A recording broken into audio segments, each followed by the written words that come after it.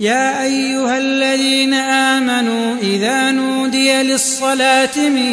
يوم الجمعة فاسعوا إلى ذكر الله وذروا البيع ذلكم خير لكم إن كنتم تعلمون سمانيتو مسلقون الله تعالى প্রশংসা যিনি আমাদেরকে প্রতি জুমার ন্যায় আজও সালাতুল জুমা আদায় করার জন্য একত্রিত হওয়ার তৌফিক দান করেছেন তাই তার প্রশংসা করি আলহামদুলিল্লাহ আখেরি নবী তার ওপর দরুদ ও সালাম শান্তি বর্ষণ হোক আল্লাহ আমিন আমরা আজকে আলোচনা করব কোরআনের ফজিলত নিয়ে কোরআনের ফজিলত নিয়ে আমরা আলোচনা করেছি ইনশাল্লাহ আজকে আলোচনা করব কোরআন এটি একটি মহাগ্রন্থ আল কোরআন যার মধ্যে কোনো রকম সন্দেহ নাই এটা শুধু মুসলিমদের জন্য নয় বিশ্ব মানবতার জন্য এবং বিশ্ব মানুষের জন্য এটা গাইড বুক এটা এমন একটা সংবিধান যেটা আপনার দুনিয়ার সমস্যা এবং আখেরাতের সমস্যাও সমাধান করবে অতএব কোরআনের গুরুত্ব এবং ফজিলত অপরিসীম এজন্য আজকেও আমি আলোচনা করব কোরআনের ফজিলত নিয়ে আল্লাহ তালা বলেছেন সুরা ইসরা ইন্নাহাদাল কুরআন ইয়াহদিল্লি হিয়াকুয়াম হে বিশ্বাসীগণ যে ইন্নাহাদাল কুরআন নিশ্চয়ই এ কোরআন হেদায়েত দেয় এমন পথের যেটা লিল্লাতি হিয়া আকওয়াম যেটা অতি সরল সর্বশ্রেষ্ঠ পথ সরল সঠিক পথের হেদায়েত এ কোরআন দেয় এমন একটা কিতাব নাই পৃথিবীতে যেটা সঠিক পথের হেদায়েত দিবে শুধু আল কোরআন যার মধ্যে কোনো রকম সন্দেহ নাই এই আল কোরআনই শুধু সঠিক পথের হেদায়েত দেয় শুধু তাই নয় তারপরে বললেন ওয়ায়ু বাশিরুল মিনিন আল্লাদিনাত এবং এ কোরআন মমিনদেরকে যারা মমিন এবং সৎ কর্মশীল তাদেরকে সুসংবাদ দেয় কিসের সুসংবাদ সুসংবাদ হলো আন্না লাহুম আজরন কাবিরা তাদের জন্য রয়েছে মহা পুরস্কার মহা পুরস্কারের সুসংবাদ দেয় এই আল কোরআন তাহলে এটা আমরা এই কোরআন থেকে পিছিয়ে আছি আমরা এই কোরআন পড়ি না এই পড়ার ব্যাপারে আল্লাহ তালা সুরাজ জুমারাতে তেইশ নম্বর আয়ত আল্লাহ তালা বলছেন যে কোরআন গোটা বিশ্বে সব থেকে বেশি পড়া হয় এই কোরআন অর্থাৎ এমন একটি কিতাব এই কিতাবটা পৃথিবীতে সব থেকে বেশি তেলাওয়াত করা হয় পাঠ করা হয় আল্লাহ তালা বলছেন আল্লাহ নাজ্জাল আহসান আল হাদিস কিতাবা কিতাবা মুতাশা বিহা আল্লাহ তালা একটা এমন কিতাব নাজিল করেছেন এমন উত্তম বাণী নাজিল করেছেন যেটা হলো সুসামঞ্জস্য এর মধ্যে সুসামঞ্জস্য আছে সুসামঞ্জস্য বলতে যেমন উদাহরণ দেওয়া যায় যে যেখানে আছে জাহান নামের বর্ণনা ঠিক সেই জায়গাতে জান্নাতের বর্ণনাও আছে ইন্নাল আবরারা লাফি নাইম ওয়াইনাল ফুজ্জারা লাফি জাহিম যেখানে জান্নাত সেইখানেই জাহান্নামের বর্ণনা আছে আরও সুসামঞ্জস্য আছে এই কোরআনে এবং মাথানি এই কোরআন সব থেকে বেশি তেলাওয়াত করা হয় সব থেকে বেশি পাঠ করা হয় বার বার পাঠ করা হয় আপনি সৌদিতে যাবেন দেখতে পাবেন প্রত্যেকটা মসজিদে কোরআন রাখা আছে মসজিদে ঢুকলেই কোরআন নিয়ে তারা তেলাওয়াত শুরু করে দেয় তারা সকলেই কোরআন পাঠ করা জানে আরও অন্যান্য জায়গায় ইউপি আরও বিভিন্ন জায়গায় শিক্ষিত মুসলিম তারা কোরআন তেলাওয়াত জানে তাহলে আমরাই হতভাগা মুসলিম যে আমরা এই কোরআন তেলাওয়াত করতে জানি না আমরা কোরআনের অনুবাদ জানি না আমরা হতভাগা মুসলিম যদি আমাদের কোনো জায়গা থেকে চিঠি আসে বিদেশি ভাষা তাহলে চিঠিটা আমরা নিজে না পড়তে পারলে অন্য কাউকে পড়িয়ে কি আছে সেটা আমরা দেখব আর যেটা মহান আল্লাহ তালার তরফ থেকে আরস থেকে এবং লাউহে মাহফুজ থেকে আমাদেরকে দান করা হয়েছে এই মহাগ্রন্থ আল কোরআন শুধু আমাদের জন্য অর্থাৎ আমাদের সফলতার জন্য দুনিয়া এবং আখেরাতের সফলতার জন্য অতএব এই কোরআনকে আমরা খুলে দেখি না এই হতভাগা মুসলিম তারপরে বললেন যারা তাদের প্রতিপালককে ভয় করে তাদের এই কোরআনের দ্বারা তাদের শরীর তাদের দেহ কম্পিত হয় তাকশাইরু মিনহু তাদের চামড়া কম্পিত হয় কেঁপে উঠে এবং তারপরে বললেন যে তাদের এই দেহ এবং তাদের অন্তর কেঁপে উঠে এবং তারা আল্লাহ তালার নিকটে সেজদাই লুটিয়ে পড়ে কোরআন এমন এক কিতাব যখন আপনি তেলাওয়াত করবেন তার মানে মতলবকে বুঝবেন তখন মনে হবে যে আমাকে এখন উপায় হলো যে আল্লাহ তালার শেষ দায় আল্লাহ তালার কাছে নত হওয়া ছাড়া কিছু নয় আমি লুটিয়ে পড়ি আল্লাহ তালার কাছে এমন এমন জিনিস এই কিতাবে আছে অতএব আমি যদি তেলাওয়াতই না জানব না জানবো এবং অনুবাদ করা যদি না জানবো তাহলে কি জানবো তাহলে আমি এ থেকে কি উপকার পাবো এজন্য অবশ্যই তেলাবাদ করতে হবে আমরা দেখি যে এই কোরআনের এক একটা সুরা এক একটা আয়াত এক একটা অক্ষরের ফজিলত আছে এমন একটা সুরার কথা বলি আপনাদেরকে যে সুরাটা হলো সমস্ত রোগের আরোগ্যদানকারী সব রোগের আরোগ্যদানকারী হলো ওই সুরাটা এমন কি জ্বর হয়েছে পড়ে ফুঁক দেন ভালো হয়ে যাবে সাপে কাটা রুগীকে পড়ে ফুঁক দেন ভালো হয়ে যাবে সব রোগের আরোগ্য দানকারী হলো ওই সুরা ওই সুরাটা কোন সুরা ওই সুরাটা হলো সুরাতুল ফাতেহা সুরাতুল ফাতেহা সুরাতুল ফাতেহা সম্পর্কে সহি বুখারিতে রসুল্লাহ সাল্লাহ সাল্লাম বলেছেন পাঁচ হাজার ছয় নম্বর হাদিস ফাজাইলুল কোরআনের অধ্যায় আছে যে আবু সাঈদ খুদির রাজি আল্লাহ তাল আনহু থেকে বর্ণিত তিনি বলেন যে আমরা সফর করছিলাম এক স্থানে আমরা অবতরণ করলাম দাঁড়ালাম একটা বালিকা এসে বলল যে আমাদের নেতাকে আমাদের এলাকার নেতাকে সাপে কেটেছে আমাদের পুরুষগণ নাই অতএব আমাদের আপনাদের মধ্যে কেউ যদি থাকে তাহলে যেন ঝাড়ফুঁক করে দেয় ভালো হয়ে যায় আমাদের মধ্য হতে আবু সাইদ খুদরি বলছেন যে আমাদের মধ্য হতে একজন ওই বালিকা বালিকার সাথে গেলেন এবং ঝাড়ফুঁক করলেন ভালো হয়ে গেল আমরা জানতাম না যে ইনি ঝাড়ফুঁক করতে জানেন আমাদের ধারণা ছিল না আমরা বললাম যে আপনি কি ঝাড়ফুঁক করতে জানেন আপনি কি ঝাড়ফুঁক করতে আগে থেকেই পারতেন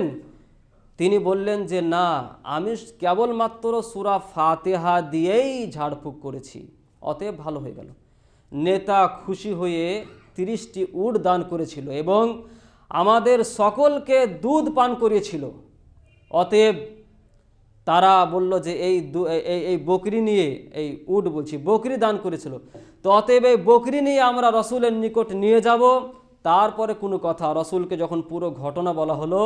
রসুল সাল্লাহ সাল্লাম বললেন সে ব্যক্তি কিভাবে জানলো যে সুরাতুর রাকিয়া এটা হলো ঝাড় ফুঁক করার সুরা এটা হলো ফুঁক দেওয়ার সুরা এটা সে কি করে জানলো তারপরে রসুল বললেন যে তোমরা এ বন্টন করো এবং আমার জন্য একটা ভাগ রাখিও ভাগ বসাইও বোঝা গেল যে এই সুরা তিনি তো জানতেন না যে এই সুরা পড়লেই আপনার সাপে কাটা রুগী সুস্থ হয়ে যাবে এই বোখারি শরীফের হাদিস থেকে বোঝা গেল যে কোনো রুগীকে আপনি ফু দেন পাঁচ তিনবার পাঁচবার সাতবার ফুক দেন ইনশাল্লাহ ভালো হয়ে যাবে এই সুরা এমন একটি সুরা যে এই সুরার ব্যাপারে বলা হয়েছে যে সব থেকে বড় সুরা শ্রেষ্ঠ সুরা শ্রেষ্ঠ সুরা হলো এই সুরা ফাতেহা কোরআনে আজিম বলা হয়েছে বড় সুরা আমরা জানি কোরআনে সব থেকে বড় সুরা কোনটি সুরা বাকারা কিন্তু মর্যাদার দিক দিয়ে সুরা ফাতেহা হলো সব থেকে বড় সুরা অন্য হাদিসে আছে এক একটা অক্ষরের মধ্যে রহমত এবং বরকত আছে এই সুরা তেলাবাত করার পরে যে যা চাইবে সে তা পাবে রসুল সাল্লাহ সাল্লাম সহি বুখারি পাঁচ হাজার সাত নম্বর হাদিসে আবু সাইদ খুদরি বলছেন আবু সাইদ বলছেন যে রসুল্লাহ সাল্লাহ সাল্লাম বললেন আমি তোমাকে মসজিদ থেকে বের হওয়ার আগে আগে এমন একটি সুরা বলবো যেটি হলো কোরআনে আজিম সাবে মাসানি বার বার তেলাবাত করা হয় এমন একটি সুরা বলবো তারপর রসুল সাল্লাহ সাল্লাম তাকে বললেন শিখিয়ে দিলেন আলহামদুলিল্লাহ রব্বিল আলামিন এটা শিখিয়ে দিলেন অতএব এটা হলো সাবে মাসানি বারবার তিলাবাত করা হয় বারবার বলতে গেলে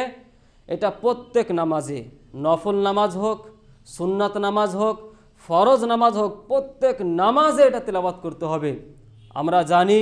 বোখারি মুসলিম বিভিন্ন হাদিসে ভরপুর রয়েছে যে লা সলাত আলিমাল্লাম ইয়াকারা বি ফাতিহাতিল কিতাব নামাজ হবে না সুরা ফাতেহা না পাঠ করলে অতএব সুরা ফাতেহা পাঠ না করলে নামাজ হবে না অন্যান্য মানে সম্প্রদায় বা অন্যান্য লোকেরা বলতে পারে যে সুরাহা সুরা ফাতেহা না পড়লেও নামাজ হবে কিন্তু আমরা হাদিস সাপেক্ষে বলছি যে সুরা ফাতেহা না পড়লে নামাজ হবে না এমন একটি সুরা অতএব এ সুরাকে আমরা কেন ছাড়ব এমন একটি আপনার আয়াতের কথা বলি যে আয়াতটি তেলাওয়াত করে ঘুমালে আপনার হেফাজতের দায়িত্ব আল্লাহ তালা নিয়ে নেয় এবং যে আয়াতটি তেলাওয়াত করলে সরাসরি জান্নাতে যাওয়া যাবে এই আয়াতটি আমাদের প্রায় লোকের মুখস্থ আছে শুধু একটাই জিনিস নাই সেটা হলো আমল আমাদের আমল নাই মুখস্থ আছে কিন্তু আমল নাই সে আয়াতটির ব্যাপারে রসুল্লাহ সাল্লাহ সাল্লাম বলেছেন সহি বোখারি পাঁচ হাজার দশ নম্বর হাদিস আবু হুরাই রাজি আল্লাহ আনহু থেকে বর্ণিত আছে তিনি বলেন যে আমাকে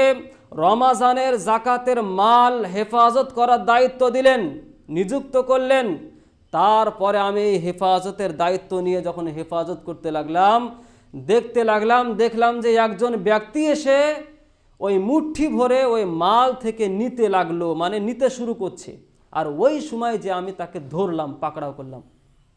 তারপরে বললাম যে আমি তোমাকে রসুলের নিকটে নিয়ে যাব সে তখন বলল যে আমি গরিব মানুষ আমার ছেলে মেয়ে আছে অতএব আমাকে ছেড়ে দাও আবু হুরাইরা তিনি তাকে ছেড়ে দিলেন দয়া করে ছেড়ে দিলেন রসুল তাকে বললেন যে কি ব্যাপার তুমি তোমার গত রাত্রিতে চোরের সাথে কেমন আচরণ করেছেন মানে রসুলকে ওহির মাধ্যমে জানিয়ে দেওয়া হয়েছে যে কেমন আচরণ করেছিলে তো আবু হুরাইরা তখন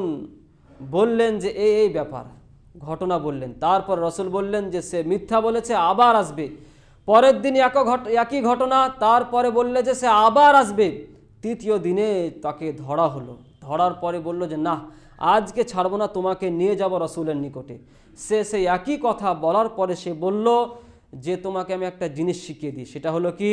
যে যখন তুমি ঘুমাতে যাবে শুতে যাবে ওই সময় তুমি আয়াতল কুরসি পাঠ করবে আয়াতুল কুরসি তেলাওয়াত করবে পাঠ করবে পড়বে তাহলে আল্লাহ তালার তরফ থেকে মানে পুরো রাত্রি একজন হেফাজতকারী নিযুক্ত করা হবে শুধু তাই নয় তোমার নিকটে সকাল ভোর পর্যন্ত শয়তান তোমার নিকটবর্তী হতে পারবে না এটি বোখারি শরীফের হাদিস এত ফজিলত এই আয়াতটি সম্পর্কে রসুল্লাহ সাল্লাম আরও বলেছেন যে এই আয়াত যদি তেলাওয়াত করা হয় তেলাওয়াত করলে জান্নাত মানে সে জান্নাতে যাবে তো হাদিসে ঠিক এইভাবে বলা হয়েছে সে জান্নাতে যাবে না তেলাওয়াত করলে জান্নাতে যাবে না কিন্তু মৃত্যু হলেই সে জান্নাতে যাবে মানে জান্নাতে চলে গেছে মৃত্যু হলেই সে জান্নাতে যাবে এই আয়াতটি যদি তেলাবাত করা হয় কখন তেলাবাত করতে হবে এই আয়াতটি তেলাবাত করতে হবে রসুল বললেন প্রত্যেক নামাজের ফরজ নামাজের পরে একবার করে তেলাবাত করতে হবে আমাদের মুখস্থ আছে কিন্তু আমরা আমল করি না তেলাবাত করি না আমাদের এই লেকচার অনেকেই শুনছেন গা গ্রামের লোকেরা শুনছেন আমরা গা গ্রামে দেখতে পাই যে তারা নামাজ পড়ার পরে পরেই বেরিয়ে চল যায় না জিকির সোহানাল্লাহ আলহামদুলিল্লাহ না আয়াতুল কুরসি না কিছু কোনো কিছুই তারা পড়ে না অবশ্যই আমাদের মুখস্থ আছে আমরা আমল করি না গাফেল গাফেল থাকার কারণে হয়তো আমরা জান্নাত না পেতেও পারি এই যে কোরআনের ফজিলত আল্লাহ তালা কোরআন সম্পর্কে আল্লাহ তালা বলেছেন আম আলা তারা কেন কোরআন নিয়ে গবেষণা করে না তারা কোরআন নিয়ে চিন্তা ভাবনা করে না কেন তারা কোরআন নিয়ে চিন্তা ভাবনা করে না না তাদের অন্তরে তালাবদ্ধ আছে তাদের অন্তর তালাবদ্ধ আর না হয় তারা কোরআন নিয়ে গবেষণা করে না বিষয় হলো যে আয়াতটিতে আয়াতটিতে ঠিক এইভাবে বলা হলো যে তারা গবেষণা করে না চিন্তা ভাবনা করে না তেলাবাদ করে না অনুবাদ করে না পড়ে না মানে হলো যে তার অন্তর তালাবদ্ধ হয়েছে তার অন্তরে তালা লেগে আছে অতএব কোরআন তেলাবাত করতে হবে পাঠ করতে হবে বুঝতে হবে আমাদের প্রত্যেকটা মসজিদে ইমাম রাখা আছে প্রত্যেকটা মসজিদে ইমাম রাখা আছে এমামের এবং মুসল্লির উচিত হলো যে প্রত্যেক দিন দশ মিনিট পনেরো মিনিট কোরআনের অনুবাদ করা এবং হালকা করে তাফসির ব্যাখ্যা করা এটা মুসল্লিরা সবাই সকলে শুনবে শুধু তাই নয় যদি এটাও যদি না পারে তাহলে একদিন পর একদিন একদিন পর একদিন না হলেও তিন দিন পর একদিন হোক সপ্তাহে একদিন হোক আপনার মাসে দুদিন হোক এটা করা প্রত্যেকটা মসজিদে করা এটা উচিত এ বিষয়ে আপনাকে একটা দলিল দিয়ে দিই এ বিষয়ে রসুল্লাহ সাল্লাহ সাল্লাম বলেছেন রাহু মুসলিম মুসলিম শরীফের হাদিস যে মাজতামা কৌমুন মিন ফি বাইতিন মিন বুয়ুতিল্লাহ আল্লাহ তালার ঘরের মধ্যে কোনো ঘরে মানুষ যখন একত্রিত হয়ে জমা হয়ে এতলুনা কিতাব আল্লাহ আল্লাহ তালার কিতাব তিলাবাত করবে ওয়াতাদা রাসু নাহু এবং এই কিতাবকে তারা ইয়াকে অপরের সাথে বুঝাবুঝি করবে ওয়াতাদা রাসুনা দার্স থেকে শব্দটি এসছে দার্স দার্স মানে দাস দেওয়া কেলাস করা পাঠ দেওয়া আমরা জানি যে কেলাস করলে কিভাবে করা হয় শিক্ষক মশাই বুঝাবেন এবং তার সাথে সাথে ছাত্ররা প্রশ্ন করবে ওয়াতাদা রাসু নাহু একে অপরে বুঝাবুঝি করবে তাহলে অনুবাদ করা দরকার তো কি বলছে যদি এইটা করা হয় তাহলে আল্লাহ আল্লাহ রসুল বলছেন